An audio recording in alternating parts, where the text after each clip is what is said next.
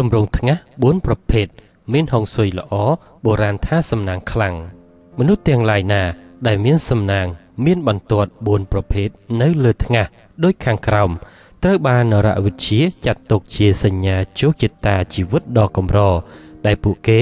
នឹងសម្បូរទ្រព្យសម្បត្តិនាពេលអនាគតថ្ងាសបន្ទាត់អត្ថច័ន្ទមនុស្សភាគច្រើន ដែលមានបន្ទាត់រៀងអត្ថច័ន្ទនៅលើថ្ងាសតែងតែមានជោគវាសនាដ៏រីករាយ និងជោគជ័យខ្លាំងបើជាស្ត្រីវិញគឺជាមនុស្សមានប្តីល្អ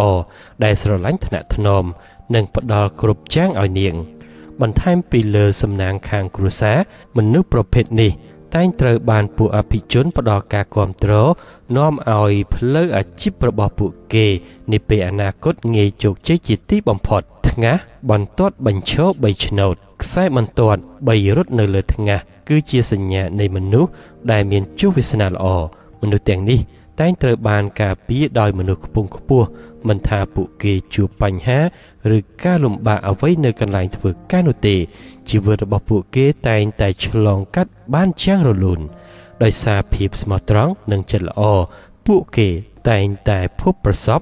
នៅរឿងសំណាងផ្ទួនផ្ទួនក្នុងជីវិតថ្ងាសបន្ទាត់ពីរត់កាត់គ្នា មនុស្សដែលមានបន្ទាត់រត់កាត់គ្នានៅលើថ្ងាស ជាសញ្ញាបុគ្គលដែលរហ័សរហួននិងចេះមើលវែងឆ្ងាយ ជាពិសេសមនុស្សទាំងនេះពូកែខាងផ្នែកលក់អាជីវកម្មហើយរមែងជោគជ័យក្នុងវិស័យនេះ ពេលចូលវ័យកណ្ដាលរាសីរបស់ពួកគេ